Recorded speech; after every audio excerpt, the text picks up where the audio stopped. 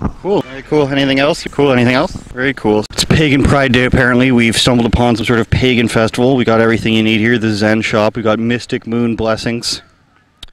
We've Got Nature's Grove Design. Everything you need for your pagan needs. I don't even know what this is. I'm not sure. But let's find out. Maybe. All right. Uh, keeping with the pagan festival community, you want to get a shot of this girl looking awfully pagan. We're not exactly sure what's going on here, but what we do understand here is we've got some sort of LARPing community. Perhaps this was one of their weapons of choice. A staff, otherwise known as a stick. We've see we got people in capes. Just want to get a shot of it and see what's going on. Let's let's go around and see what's going on here. What are we eating? Um, so this is lammas bread. Um, the uh, so she said that we could essentially just finish it off. Who's she? To nature. Uh, the um, I don't know what her official title is because a lot of it is uh, dependent on you know what someone prefers. So I guess you could just call her the Wiccan Reverend if you want. Okay. Pardon? Okay, she prefers that title. Okay, perfect. So Reverend Marie told us that we could uh, finish the rest of the lammas bread and put the rest back to nature. Um, well, we're actually Wiccan, which is part of it, and uh, it's a spiritual calling. So it's not, um, it's worshiping the gods and the goddesses in the earth, the sun, the moon, the stars. It's a calling to you. It's not something you just join, it's something that calls to you. They do this pagan pride thing every year. Is the first year I've been here. And I just saw they were doing a circle. And the person who was leading it, just there's there's different sort of rituals you can do. It's called Lammas ritual. It's for midsummer. It's the first harvest of the year.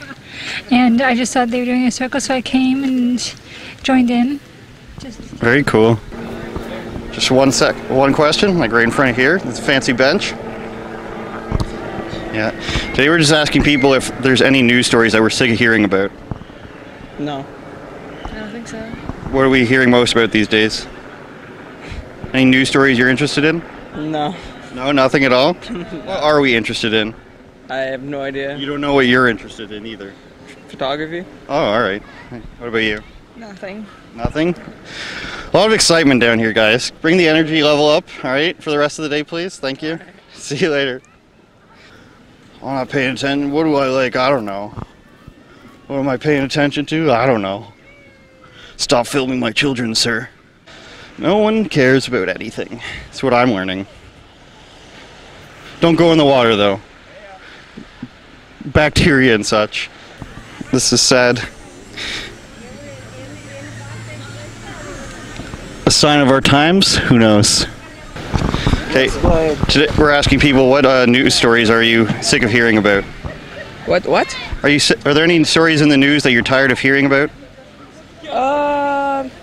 no. What was the last story you heard about? Well, maybe because the whole, uh, the whole toxic waste in the ocean thing. Yeah, you can't swim in there today. I'm hearing. Yep. Or, uh, or your body parts are going to be extremely damaged. That too.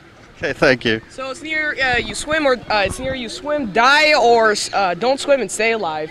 You have a good time. yes, I did. Are you gonna come back next year? Definitely. Definitely. What was the best part about it?